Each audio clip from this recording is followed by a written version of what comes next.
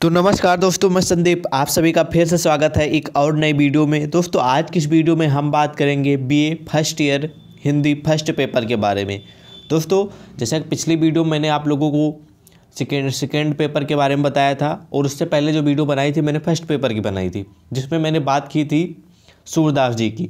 तो आज की इस वीडियो में हम बात करने वाले हैं जायसी जी के बारे में, क्योंकि जो बी ए फ़र्स्ट ईयर में क्वेश्चन आते हैं फ़र्स्ट पेपर में जायसी कबीरदास, तुलसीदास, ठीक है, सूरदास, इसी से रिलेटेड मैक्सिमम क्वेश्चन आते हैं। तो उस दिन मैंने सूरदास की बात की थी, आज के जितने भी क्वेश्चन होने वाले वो जायसी जी से रिलेटेड होने वाले हैं, ठीक है। तो आपको ध्यान से देखना है और अच्छे से पढ़ना है, ठीक है। और जो आपको अच्छे लगे क्वेश्चन वो आप नोट डाउन कर लीजिएगा।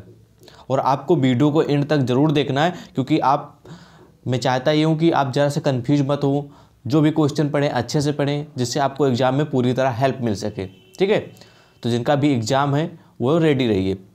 और हाँ जिन लोगों को राइट आंसर मालूम होगा प्लीज़ कमेंट सेक्शन में बता दीजिएगा। तो आज के वीडियो में जो पहला क्वेश्चन है, वो है जायसी के गुरु कौन थे? नंबर एक, Kabir B number Khusro C नंबर मऊद्दीन डी नंबर उस्मान। तो इसका जो राइट आंसर हो जाएगा, क्या हो जाएगा? जिनको मालूम है कमेंट सेक्शन में बता सकते हैं। तो दोस्तों, इसका जो राइट आंसर हो जाएगा, वो हो जाएगा सी नंबर ठीक है? मुआउद्दीन. वीडियो में आगे बढ़ने से पहले मैं आप लोगों को ये बताना चाहूँगा कि जिन स्टूडेंट को कोई भी क्वेश्चन है, कोई भी क्वेरी है, कुछ भी पूछना चाह रहे हैं, चाहे B A B S C B com किसी भी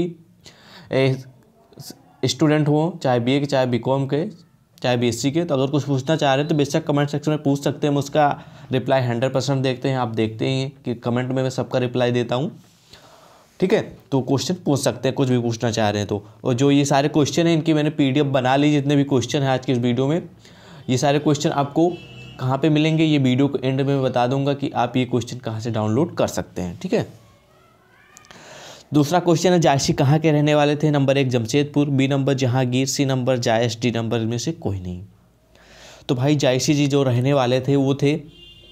इसका जो राइट आंसर हो जाएगा, वो हो जाएगा सी नंबर ठीक है? जायस के रहने वाले थे जायसी फ़िलहाल उनके नाम से ही उनके जहाँ के रहने वाले थे, उनकी पहचान हो रही है, ठीक है? जायसी जी जायस के रहने वाले थे। नेक्स्ट क्वेश्चन है। नेक्स्ट क्वेश्चन है जायसी भक्तिकाल के किस शाखा के प्रमुख कवि थे? नंबर एक, प्रेमाश्री। B number रामाश्री। और है डी नंबर सी नंबर है, ज्ञानाश्री। डी नंबर है, कृष्णाश्री। ये क्वेश्चन एग्ज़ाम में कई बार पूछा गया, मैंने देखा है कि तो ये ध्यान देना है आप लोगों को इन क्वेश्चनों को। इसका जो राइट आंसर हो जाएगा, वो हो जाएगा ए नंबर प्रेमाश्रय के थे, ठीक है? जायसी जी जो थे, वो प्रमुख कवि थे प्रेमाश्रय के, ठीक है? नेक्स्ट क्वेश्चन की बात करते हैं। आखिरी आखिरी कलाम किसकी रचना है? नंबर एक रहीम बी नंबर है कबीर सी नंबर है खुसरो डी नंबर है जायसी। तो दोस्तों, जो स्टूडेंट पहली बार एग्ज़ाम देने जा रहे हैं, मैं उनको बता दूँ, ठीक है? इसका राइट आंसर पहले मैं बता दूँ आप लोगों को। इसका राइट आंसर हो जाएगा डी नंबर जायसी जो भी बीए फ़र्स्ट ईयर की स्टूडेंट है, ठीक है? जो भी बीए फ़र्स्ट ईयर के स्टूडेंट है, उनका एग्ज़ाम जो होने वाला ऑब्जेक्टिव यानी कि मल्टीपल क्वेश्चन आएँगे। ठीक है? पूरे आप लोगों को जितने भी क्वेश्चन उसमें देखने को मिलेंगे, सौ नंबर का क्वेश्चन होगा। अगर यूनिवर्सिटी चेंज है तो हो सकता है सत्तर नंबर का भी हो सकता है। ठीक है? तो आपको उसमें क्या करना है? इसी तरह के क्वेश्चन मिलेंगे सो, उसके नीचे उसका ऑप्शन रहेंगे, का, खा, गा, घा करके, ठीक है? तो जैसे ये क्वेश्चन है, आखिरी कलाम किसकी रचना है तो चार ऑप्शन मिलेंगे। जो करेक्ट होगा, उसको आपको सिलेक्ट करके, ठीक है? उसके सामने एक गोला होगा, उस पर आप लोगों को मार्क करना होगा। एक क्वेश्चन पेपर मिलेगा और एक ओ आम आर सीट मिलेगी, जिस पे आपको गोला बनाना होगा। जब आप जाएँगे कन्फ्यूज़न होगी तो वहाँ पर जाएँगे तो ऐसी बात नहीं, आप लोगों को जो टीचर होंगे फ़र्स्ट डे वो सब पूरी डिटेल में बता देंगे। ठीक है कि कैसे क्या करना है, क्या प्रोसेस है? क्योंकि बहुत सारे स्टूडेंट ऐसे भी कंफ्यूज हो रहे होंगे कि सर ओमार सीट है, कैसे फिल करेंगे, क्या होगा, कैसे नहीं होगा? तो यूट्यूब पर बहुत सारी वीडियो पड़ी हैं, आप सर्च करके देख लीजिएगा, उसमें डालिएगा ओम सीट कैसे फिल करें? तो वहाँ से भी आप लोगों को काफ़ी आइडिया मिल जाएगा और जब आप एग्ज़ाम देने जाएँगे तो वहाँ पर आपके जो सर, जो टीचर होंगे, वो अच्छे से बता देंगे आपको टेंशन लेने की आवश्यकता नहीं है। नेक्स्ट क्वेश्चन है। जायस का प्रिय अलंकार है, नंबर एक अनुप्रास, बी नंबर यमक, सी नंबर उत्प्रेक्षा, डी नंबर श्लेष। तो जायस का जो प्रिय अलंकार है, उसका नाम है उत्प्रेक्षा, ठीक है? राइट आंसर हो जाएगा सी नंबर उत्प्रेक्षा। चलिए नेक्स्ट क्वेश्चन की बात करते हैं। द्विवेदी युग के निबंधकार हैं, नंबर एक केशवदास, बी नंबर शिव पूजन सहाय, और सी नंबर है Dinkar, D number doctor Shyam Sundar Das. ये क्वेश्चन पिछले, उससे रिपीट हो गया दोस्तों। पिछले जब मैंने वीडियो अपलोड की थी, उसमें भी क्वेश्चन था। तो इस क्वेश्चन का राइट आंसर हो जाएगा। आप लोगों को मालूम ही मैंने पिछली वीडियो में बता ही दिया था। डॉक्टर श्याम सुंदर दास जी, ठीक है? नेक्स्ट क्वेश्चन है। जायस का पूर्व नाम क्या था? जो जायस जायस का पूर्व नाम क्या था? नंबर एक है अभय बी नंबर निशान और सी नंबर है पवन और डी नंबर है उद्धान तो इस क्वेश्चन का जो राइट आंसर होता है, वो होता है डी नंबर उद्दान ठीक है? दोस्तों, मैं आप लोगों को ज़्यादा ज़्यादा भी टाइम वेस्ट नहीं करना चाहता। जो भी आंसर होगा क्वेश्चन का, मैं शॉर्टली में उसका आंसर बताता चला जाऊँगा, ठीक है? आप माइंड में अपने सेट कर लीजिए, क्योंकि आप लोगों को मैं नहीं चाहता कि ज़्यादा टाइम वेस्ट हो, फालतू आप लोग का, अदर, ठीक है? तो इसलिए मैं इसका राइट आंसर जो भी होता है, मैं जल्दी से बता देता हूँ। आप नोट डाउन कर सकते हैं स्क्रीन भी ले सकते हैं, ठीक है? ये सब आइडिया आपको लग जाएगा कि हाँ एग्ज़ाम में किस प्रकार के क्वेश्चन आते हैं, कैसे क्या प्रोसेस होता है, बस। यही है। और हाँ जायसे से रिलेटेड कबीर दास इन सब क्वेश्चन तो आना ही आना है। कुछ ना कुछ क्वेश्चन आपको हंड्रेड परसेंट देखने को मिलेंगे एग्ज़ाम में। नंबर एक सॉरी जायसी के किस ग्रंथ में सात चौपाई के बाद एक दोहा है? तो नंबर एक, पद्मावत बी नंबर अकरावट सी नंबर होली नामा और डी नंबर है आखिरी कलाम।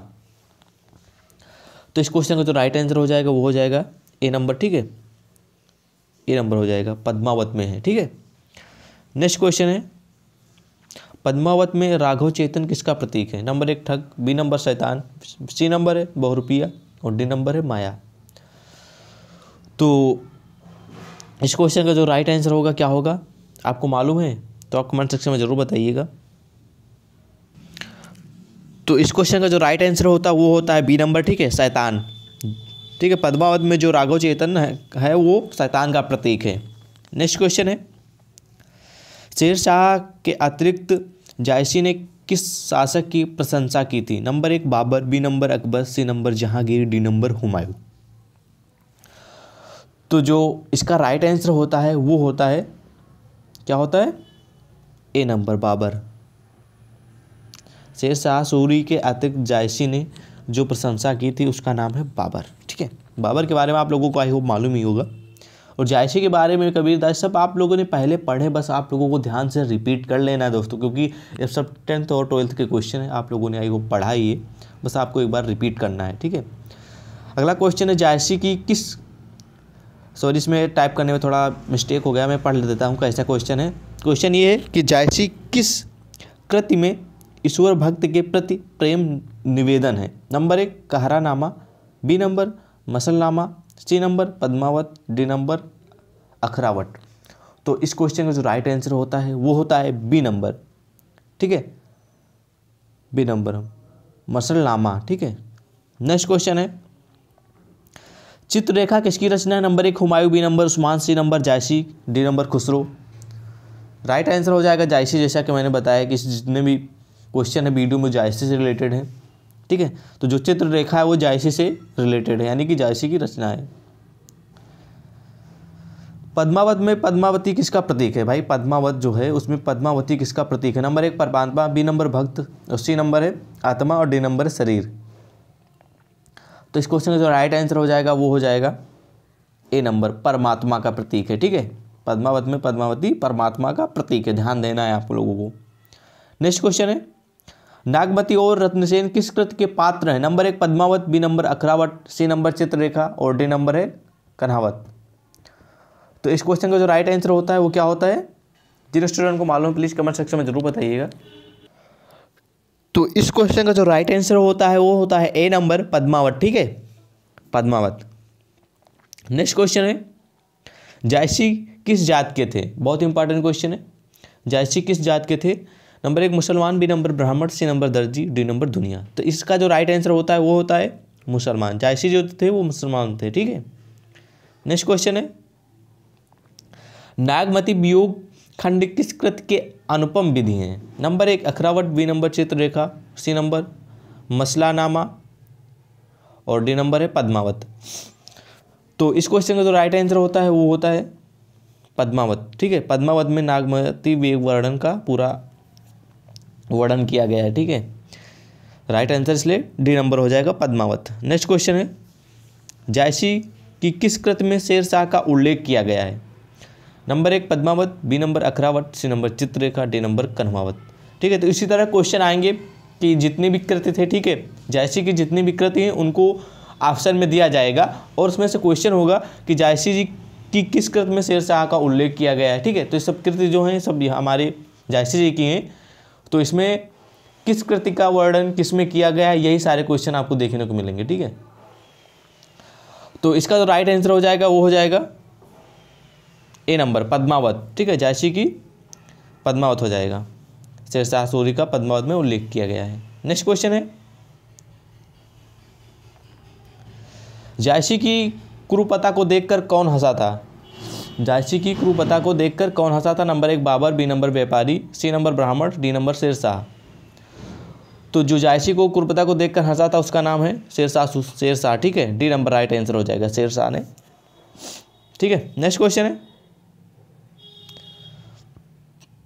जे मुख देखा ते हंसा, सुना तो आय आँसू। किस पंक्ति किसकी है? तो जो ये पंक्ति है, यहाँ टो हो गया है, आप समझ लीजिए तो है, ठीक है तो। टाइप करने में थोड़ा मिस हो जाता है। जे मुख देखा ते हंसा, सुनो, सुना तो आए आँसू। पंक्ति किसकी है? ये जो पंक्ति लिखी गई है, किसके द्वारा लिखी गई है? किसकी है? नंबर एक, Khusro B number Jayasi C number Usman, D number Sheikh Nabi तो राइट आंसर इसका क्या हो जाएगा? Jayasi ji B number next question है। पद्मावत में सिंघल किसका प्रतीक है? नंबर एक आस्था, बी नंबर हृदय, सी नंबर हीरा और डी नंबर चांदी। तो इस क्वेश्चन का जो राइट आंसर होता है, वो क्या होता है? इसका राइट आंसर हो जाता है बी नंबर हृदय। पद्मावत में जो सिंगल है, वो हृदय का प्रतीक है। तो दोस्तों, आज की इस वीडियो में बस इतने क्वेश्चन अगर आपको ये वीडियो अच्छी लगी तो प्लीज़ वीडियो को लाइक करिएगा। अगर अगर आप इसी तरह की और भी वीडियो चाहते हैं तो प्लीज़ कमेंट सेक्शन में बताइए। मैं और भी वीडियो आप लोगों को तक प्रोवाइड करने की पूरी कोशिश करता रहूँगा। ठीक है? और हाँ इससे पहले मैंने बहुत सारी वीडियो अपलोड कर दी अगर अभी तक आपने नहीं देखा तो चैनल पे जाके देख लीजिए। वहाँ पर आपको बहुत सारी वीडियोज़ मिल जाएँगी। डिस्कशन में वीडियो के डिस्कशन में मेरी वेबसाइट है। मैं आपको लोगों को पहले दिखा दूँ। तो ये आपकी अपनी वेबसाइट है। ठीक है? ये देख सकते हैं, इसका लिंक मैं वीडियो के डिस्क्रिप्शन में डाल दूँगा। तो वहाँ से जाकर आप इसकी पीडीएफ इस सारे क्वेश्चनों की डाउनलोड कर सकते हैं। और फेसबुक पेज पे भी अगर आप चाहें तो मैं फेसबुक पेज से ज़्यादा आसान रहेगा तो आप चाहें तो यहाँ से भी कर सकते हैं। अगर आप कमेंट करेंगे फेसबुक पेज जाके तो आप वहाँ से मैं आप लोगों को प्रोवाइड कर दूँगा। इसका लिंक भी वीडियो के डिस्कशन में मिल जाएगा। और डिस्कशन में मेरा टेलीग्राम चैनल भी मिल जाएगा। अगर टेलीग्राम जो भी स्टूडेंट यूज़ करते हैं, वो हमसे ज्वाइन हो जाए, मैं उनका वहीं पर हेल्प करता रहूँगा। ठीक है? तो आपको मिलते हैं किसी नेक्स्ट वीडियो में। तब तक के लिए जय हिंद, जय भारत।